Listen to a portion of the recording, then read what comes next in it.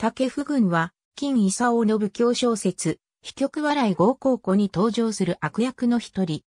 火山派の総帥で、人格者の誉れ高く、君主権と呼ばれるが、野心家で剣謀術数を張り巡らせることから、偽君主とも呼ばれる。現在の中国で、偽善者の代名詞となるほどの存在感を持つ。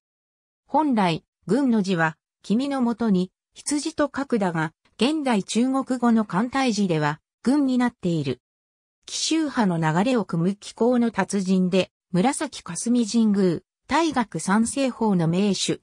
妻は妹弟子の根田のり、娘は竹霊さん。一番弟子は、霊狐沖、その太郎徳田両発、世帯子、高根明、陸大有、英次郎らなど、多数の弟子を持つ。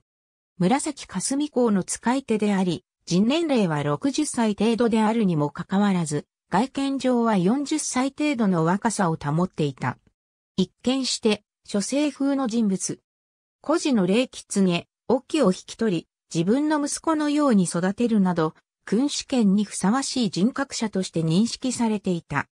しかし、それは、外面だけであり、実際は、壁邪憲譜を我が物にするためだけに、林成幸を弟子にしたほどの大変な陰謀家。物語の中盤以降、弟子である、霊狐、沖の実力が上がっていくことを許せず、門派の掟を破ったとして、必要に辛く当たった末に破門を言い渡す。その後も、成幸とはいえ名門、常山派の総帥となった彼に激しい恨みを抱くなど、大変に嫉妬深く強量な人物でもある。仲間である常山派の定一総帥を暗殺し、壁邪憲譜を林家から奪い取りさらにはその疑いを霊狐沖になすりつけるなど、裏で悪の限りを尽くした。